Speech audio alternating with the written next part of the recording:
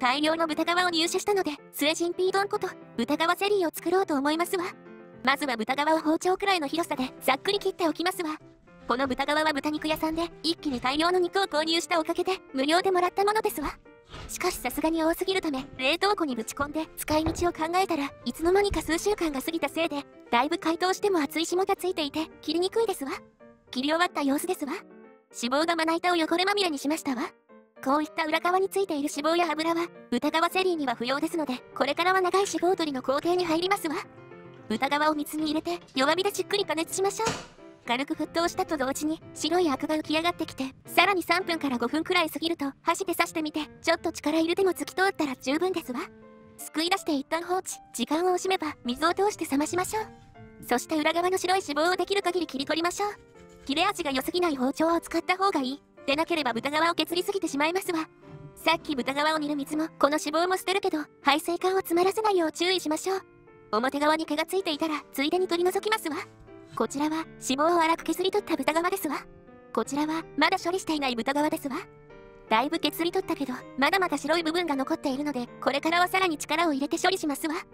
豚側を細く切りましょう。丸めた様子が気に入らないならば、横を向いて90度に切ったら、よりまっすぐになりますわ。そして重曹を導入して、入念にしごき洗いしましょう。洗い始めた時、豚側に明らかに油が残っており、よく手にくっついてきて、水もすぐ濁りましたわ。濁った水を捨ててまた重曹で洗って何度も何度も繰り返しましょう5回洗ったら水が透き通ったままになりこれで油が全て取り除かれて残ったのは純粋のゼラチン質だけですわ豚側を煮出してゼラチン質を取りますわ量が大きすぎますので半分だけ使ってもう半分はまた冷凍庫にぶち込みますわ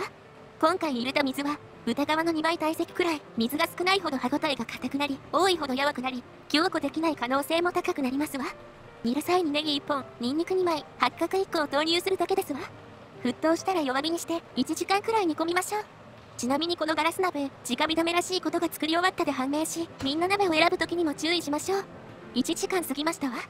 箸で豚側を挟んでみて、簡単に真っ二つに割れたら大丈夫。ネギ、ニンニクと八角をすくい出して冷却しましょう。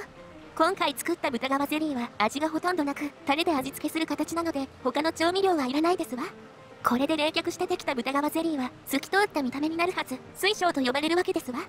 代わりにここで醤油や塩などを投入するとそのまま食べても味がする豚側ゼリーになったけど見た目が黒くなりますわ。両方楽しめたいならば煮込んだ後2つの容器に分けて別々で調味するのもいいですわ。冷蔵庫に一晩寝かせましたわ。冷やしすぎて霜もできてしまいましたわ。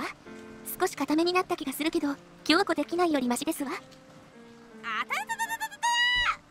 やっぱ硬すぎますわ。次回は豚側の3倍体積の水を入れてみましょう。隙間に水を入れて、なんとか取り出しましたわ。お尻みたいにプルンプルンですわ。お好きのように切りましょう。サイコロ状に切ってもいいし、薄く切ってもいいですわ。全部を均等に切りたい、盛り付けにうるさい人の場合、煮てから四角形の容器に入れた方がおすすめですわ。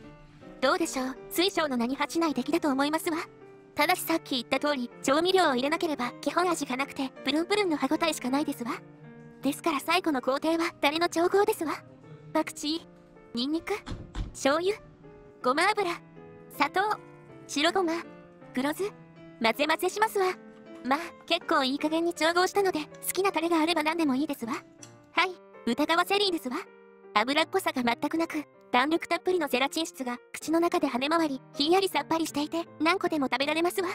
ちなみに、後日もう半分の豚皮を小腸などと一緒に煮込んで食材を食べ終わったら煮汁が自然に味付け版の豚皮ゼリーになりましたわ。今回はここまで。ごきげんよう。